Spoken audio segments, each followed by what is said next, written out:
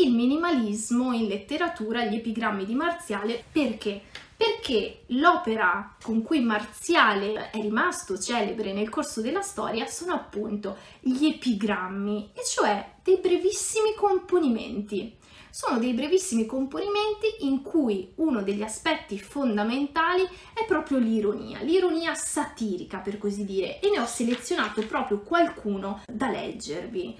La cosa interessante degli epigrammi di Marziale è che sono una letteratura intellettualmente, se vogliamo, impegnata in che senso? Nel senso che trattano di quella che è la realtà, tanto che sono in netta contrapposizione per esempio con l'epica. Solo per farvi un esempio, mm, vi leggo, vediamo questo che avevo, che avevo selezionato per voi. Leggi questo, di cui la vita possa dire è mio, hoc lege, quod possit dicere vita meum est, cioè leggi i miei epigrammi, lettore, uh, che sono degli scritti in cui tu potrai riconoscere la tua vita, la tua quotidianità.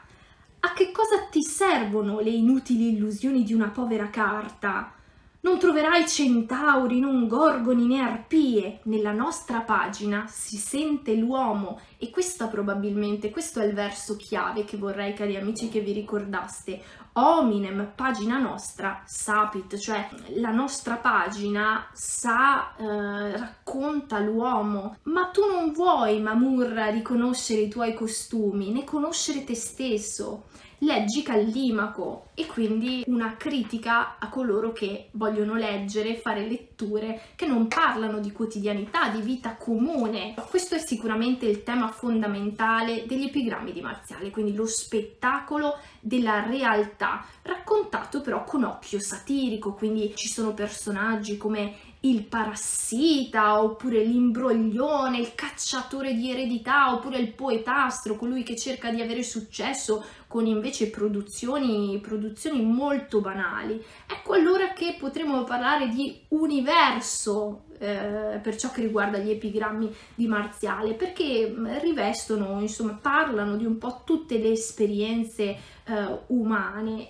In questo caso io vi ho fatto leggere un epigramma legato alla polemica letteraria, però ce ne sarebbero altri di altrettanto interessanti. Vediamo un po'. Anche questo è legato, siamo nel quarto libro, è legato alla polemica eh, letteraria. Dai nostri libretti è lontana ogni gonfiezza, la nostra musa non è rigonfia dell'insano strascico tragico, eppure tutti lodano, ammirano, venerano quei poemi.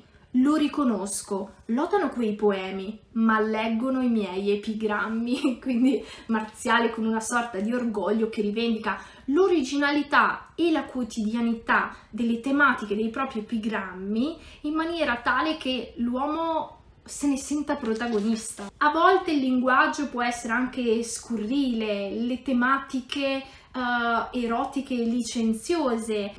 Vi leggo questo solo per farvi capire il tenore di alcuni epigrammi. Soltanto tuoi sono i poderi, Candido, soltanto tuoi denari, soltanto tuoi vasi d'oro, di mirra, tue le anfore di vino massico e di cecubo, e soltanto tuo il senno, l'ingegno, soltanto tue sono tutte queste cose. Né credere che voglia negarlo ma la moglie Candido l'ha in comune con tutti, quindi mh, mm, davvero raggiungiamo livelli eh, abbastanza bassi. Oppure ancora riflessioni su ciò che si ha nella vita, in questo caso sul non avere niente da perdere.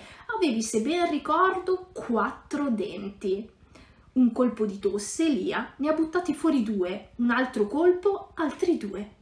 Adesso puoi tossire tutto il giorno. Capite l'ironia anche sottile di alcune situazioni di vita quotidiana come poteva essere il perdere i denti nella Roma del primo secolo, del primo secolo d.C. Quindi ricordatevi gli epigrammi di Marziale come componimenti davvero molto brevi che richiamano il genere eh, antico dell'iscrizione, che di solito era di tipo funerario, e, e in questo caso invece spazia per comprendere tutto l'universo umano in un contesto che effettivamente, come potete sentire, si limita sempre a ciò che è la realtà effettuale, fattuale, non va oltre e eh, si limita ecco solamente alla descrizione, non al giudizio.